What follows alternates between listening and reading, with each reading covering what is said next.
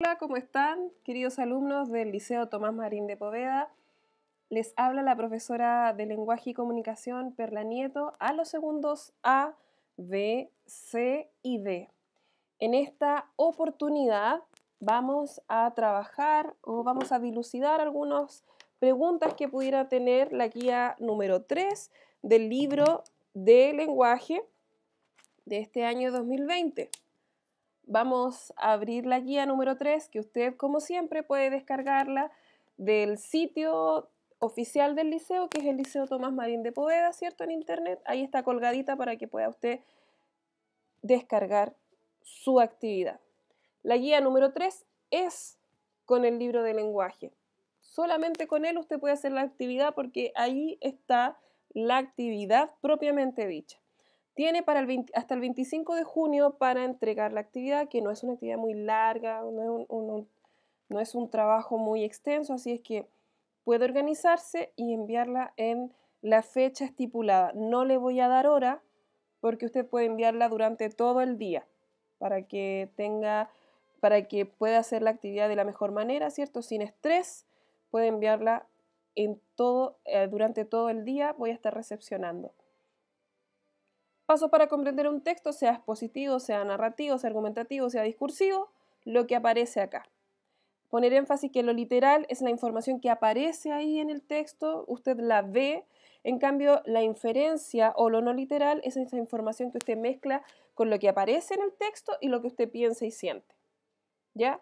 No se olvide revisar sus respuestas para que se le vaya haciendo costumbre, por si acaso se equivocó, por si acaso agregó algo que no, no, no era o por si acaso tuvo algún problema con la ortografía y la redacción, que como profesora de lenguaje estoy en la obligación de revisar. Entonces, materiales para la actividad, el libro de lenguaje, por supuesto, en las páginas 26 y 28. El programa Word para trabajar en el computador, que todo computador debe tener. Hay veces que los celulares también vienen con ese programa, si no, puede descargarlo de su tienda de App Store, eh, de Android o de Apple si usted tiene. Cuaderno de lenguaje, lápices para tomar apuntes y nuevamente reitero la página 26 o 28. El texto que usted va a analizar es el texto de Mario Benedetti, Montevideo, una estética urbana.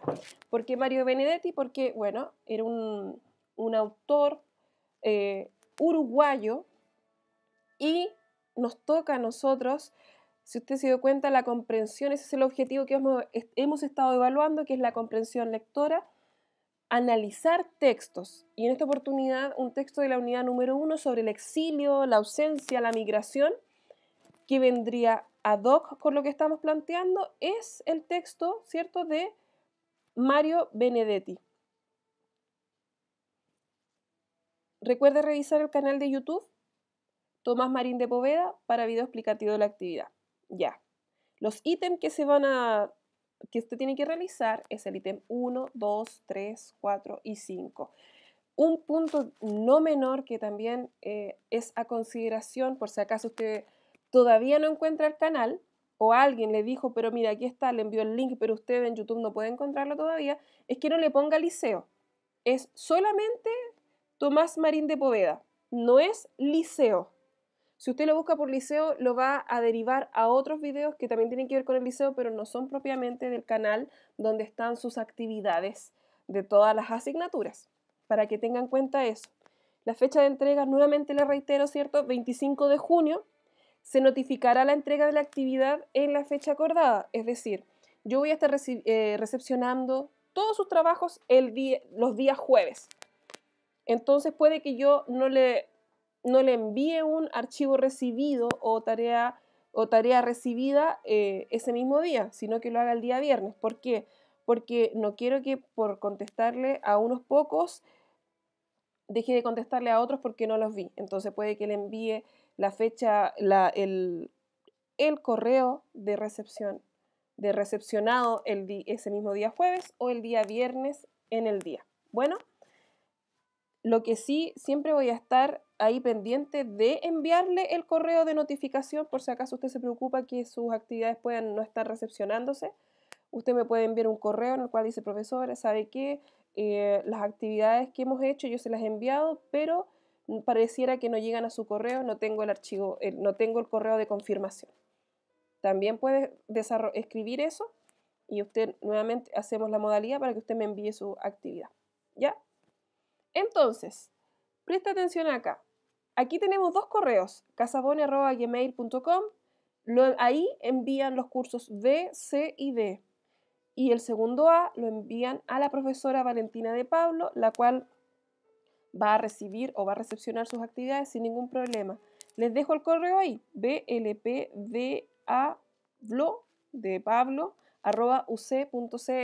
También estos correos los encuentra colgaditos en eh, el canal en el canal del liceo. ¿Ya?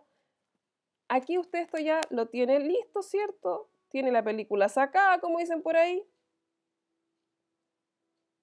Y nos vamos al libro.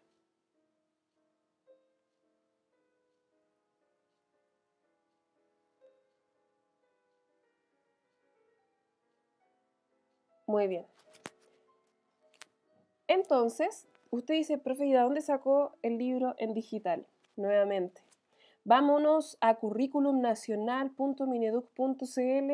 Ahí usted va a encontrar todos los libros de todas las asignaturas para este año 2020, las cuales podrá descargar ya sea para el computador, ya sea para eh, la tablet, ya sea para el celular.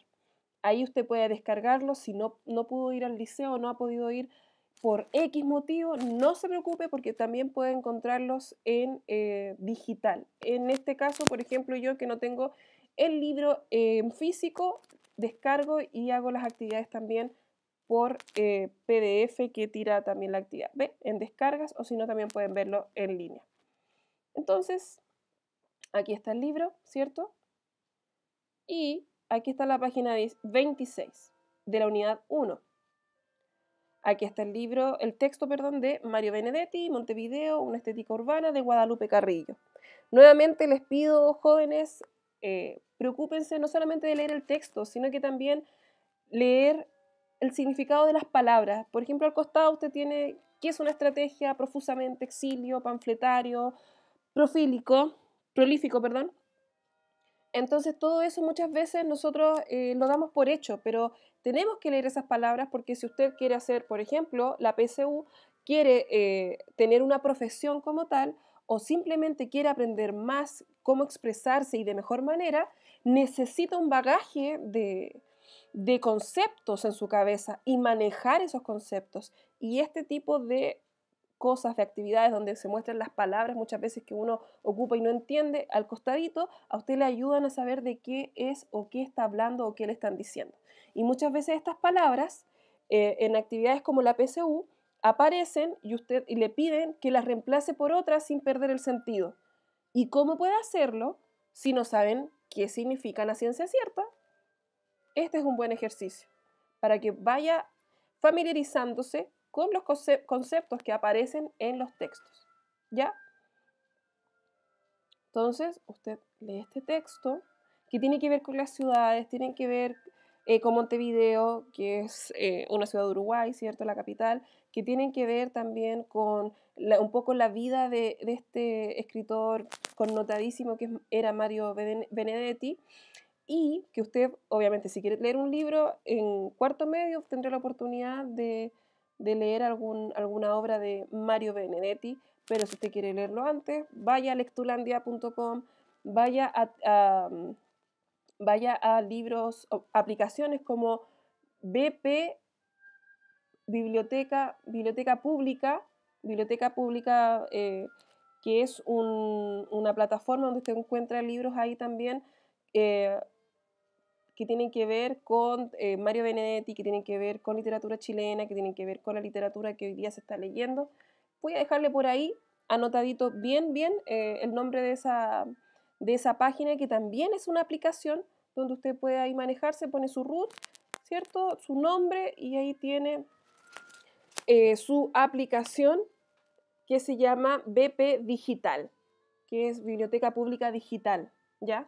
Por si acaso. Si usted le interesa leer un poquito más de lo que le piden en el colegio, excelente y lo felicito, la felicito. Entonces, acá está. Perspectivas literarias, esto sería en la página 28. ¿Ve que dijimos de la página 26 a la 28? Aquí nos detenemos. Usted leyó el texto, ¿cierto? recuerde leerlo a conciencia, bien detenida, y nos vamos ahora a las actividades.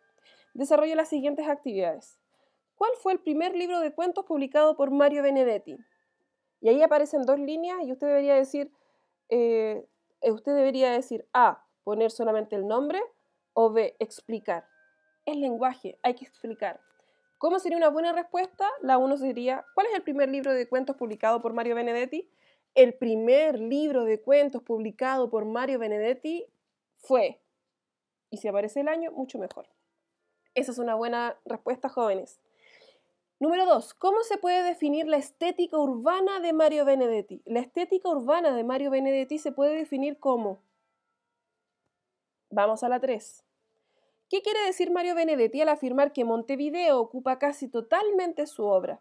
Compartes, bueno, en esta parte, comparte tu respuesta con tu compañero de banco. Bueno, usted sabe que es imposible en esto, pero eh, comparta la respuesta con usted mismo, o con alguien que le esté ayudando, no hay ningún problema. Esa de compañero de banco, obviamente, hay que dejarlo fuera. Número 4. Vocabulario. Explica qué entiendes por poesía conversacional, concepto que se menciona en el octavo párrafo del artículo leído. Para responder, considera la siguiente definición. Conversacional, perteneciente en relación a la conversación, o, o el otro adjetivo que sea es dicho del lenguaje coloquial. Poesía conversacional, Ahí dice, explica a tu compañero o compañera del banco el análisis que llevaste a cabo. Bueno, lamentablemente, nuevamente nos pillamos con ese entuerto que no podemos explicarle a, nuestro compañero o compañera porque no tenemos en estos momentos, pero sí usted puede analizarlo consigo mismo, ¿cierto? Y buscar la respuesta que, por lo demás, poesía conversacional no está diciendo perfectamente a qué se refiere. Y la número 5, ¿Cómo te imaginas el mundo oficinesco de las obras de Benedetti? Descríbelo o dibújalo y luego compártelo con tus compañeros. Bueno, aquí nuevamente nos ponen el dedo en la llaga de compartir con un compañero, ¿cierto? Pero eh, no lo comparta con el compañero, usted lo va a compartir lamentablemente con su profesora, que en este caso voy a ser yo. Y usted va a compartir conmigo, ¿cierto? Cómo usted se imagina este mundo oficinesco relatado por las obras de Benedetti. Usted puede describir este mundo oficinesco o puede dibujarlo. Para quienes les gusta dibujar, usted lo dibuja en su cuadernito, ¿cierto? O quienes son más avesados pueden hacerlo en Word, en Paint. No, sé cómo estará ahora la, la, parte del dibujo para los que les gusta escribir en, eh, dibujar en digital. Y me lo envían a mi correo. Y eso sería, esa sería la actividad. Recuerde ahí, segundo A, enviar a la profesora Valentina de Pablo. El segundo B, C y D me envían a mí la actividad. Y recuerde, los días lunes yo voy subiendo las guías para los segundos en su, en su totalidad. Y los días jueves subo el video explicativo. Bueno, para que no hayan... Em, para que no haya dificultad, para que no hayan dudas, el día lunes envío las guías que son subidas, ¿cierto?